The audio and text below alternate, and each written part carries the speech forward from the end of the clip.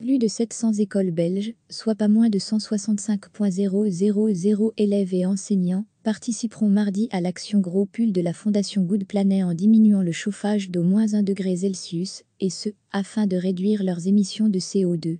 Les Good Planet Challenge sont au nombre de 5, à savoir manger local et de saison, prévenir les déchets, économiser et rationaliser l'énergie, consommer intelligemment l'eau et se reconnecter à la nature. L'action Gros Pull est le troisième rendez-vous de la 13e édition de cette campagne nationale adressée à toutes les écoles belges. En Fédération Wallonie-Bruxelles, 545 écoles ont choisi de relever ce challenge. En Belgique, 74% de l'énergie consommée par les ménages est utilisée pour le chauffage, selon l'analyse de la consommation énergétique des ménages en Belgique réalisée en 2017 par le SPF Économie. Good Planet remarque, sur base des données de Bruxelles Environnement, que diminuer la température d'un degré Celsius permet d'économiser 7% d'énergie.